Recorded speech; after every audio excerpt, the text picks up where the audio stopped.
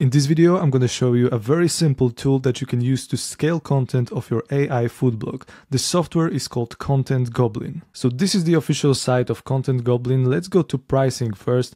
I want to show you free pricing plans that they have. They have a free trial available, so if you want, you can test it out for yourself. So as you can see, there are free plans. The cheapest one costs $29, the middle one costs $49 per month and the best one costs $99. There is not much difference between these plans because all of the features are basically the same.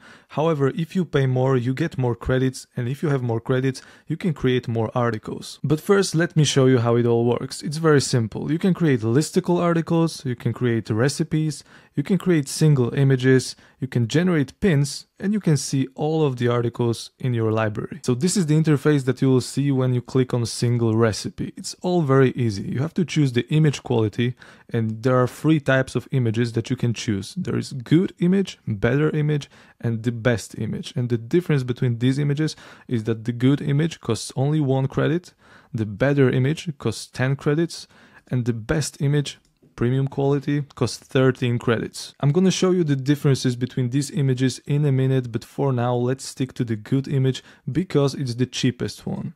In this part, recipe prompt, you just have to put the recipe that you want to create. So let's create, for example, blueberry muffins. If you want, you can also use specific keywords that will be included in the text. It's good for Google SEO, but if you are just doing Pinterest stuff, it's not really necessary. So this is the output and I used only one credit to generate this recipe. So if you use the cheapest plan and you have almost 3000 credits, you can generate 3000 recipes along with one image. So have a look at this image. We paid only one credit and this image actually looks very good and it looks natural. So in most cases, I actually don't think it's necessary to pay for premium images. I'm just worried that if someone from Pinterest would go to blog with that kind of article and they would see this big wall of text, they would probably go back to Pinterest and find something different because there are no images here. So here's my suggestion to the owners of that software. You could at least give the option to include the image at the top, not at the bottom. But considering the fact that it took only one credit, and for $29, which is the cheapest plan, we could potentially generate almost 3000 articles just like that, that's actually not a bad deal. Okay, now let's try to generate the same article with the better image quality. And as you can see, this time we are going to pay 10 credits, not just one. So let's click generate and let's see what we can get. So this time we paid 10 credits and that's the image that we have. Is it better than the first one? Is it worth paying 10 times more?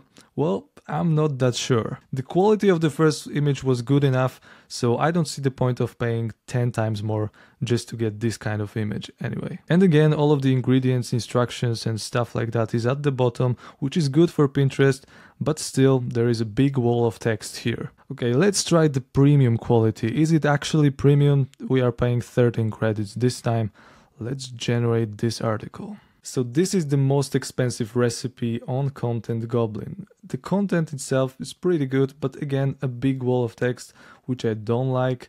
However, the image, I have to say, the quality of that image is very good and it looks the most realistic. So if you really care about the high quality of images on your food blog, I guess that the premium images on Content Goblin would be the best option for you but I have to say that the cheapest ones were still good enough. So the image is great, the instructions and ingredients are pretty good, this big wall of text is something that I don't like and it requires a little bit of more work. You could definitely use that article on your blog, but it just needs more images. So you could go to image generator here on the left and you could just generate more images of the dish that you want to create and just include more images in your final article. I just don't see the point why they didn't include the option to choose the number of images because you could just choose three or four images and it would create the same article, create more images, and the images would be already within text. So I'm not sure what Content Goblin is doing, but come on guys,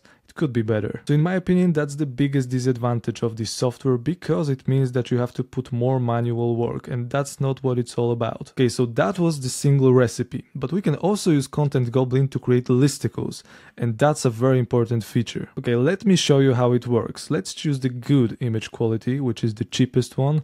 Let's choose the section type. So the section type is basically the text that appears under the image. So do we want short text? Do we want long text?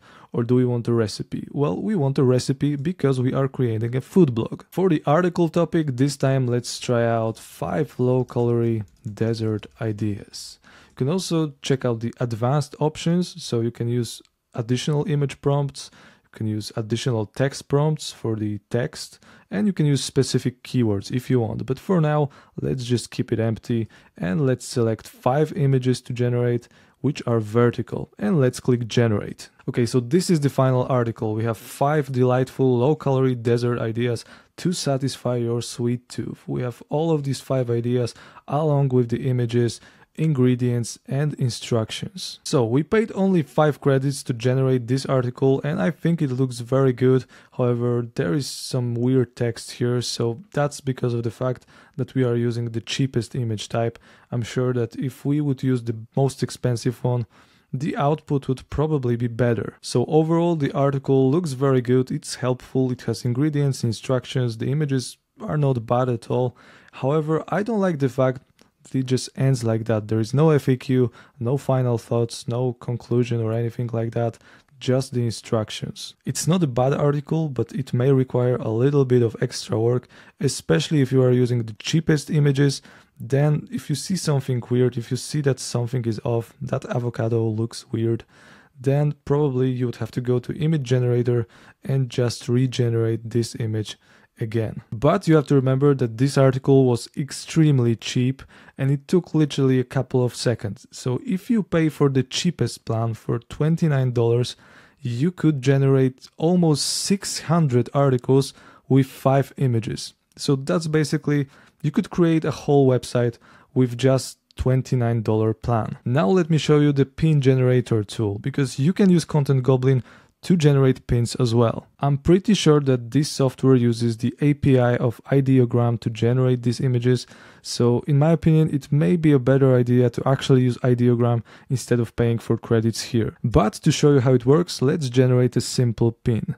Let's put the pin text, which will be easy blueberry cheesecake, and the image prompt will be tasty blueberry cheesecake. So this time we are going to pay 13 credits and let's just click generate to see what we can get. Okay, so this is the image that we created and it seems that I didn't select the option to include text on image. So if you want to include pinned text on the image, you have to select that option. But you get the drill. You can generate pins using this software it's not ideal because it costs a lot of credits and you get the same output as on Ideogram and on Ideogram you get four images at once. I actually recommend using Ideogram and I have a video about creating pins with this software, so if you are interested, make sure to check it out.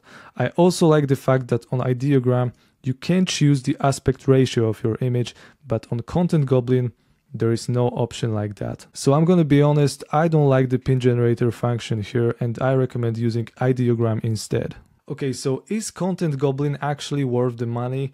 Well, I think it is worth it. If you want to create content very fast, you can pay $29 for the cheapest plan and create, for example, 500 or 1000 recipes just like that. However, all of these articles are usually very similar. So if hundreds of people are using that software and everyone's targeting the same keywords, then obviously your article will look the same as someone else's. But considering the fact that you can pay only a few dollars and generate thousands of recipes in one day, well, that's actually not a bad deal. If you want to check out Content Goblin, there is a free trial available and you can use the link available in the description. Okay, that's pretty much it for today. Thanks for watching this video and if you want to learn more about Pinterest and blogging and AI, check out the free Skool community. It's called Sigma Blog Academy, and there are a lot of free resources that you can use to grow on Pinterest. The link is in the description. Let me know what you think of Content Goblin in the comments down below,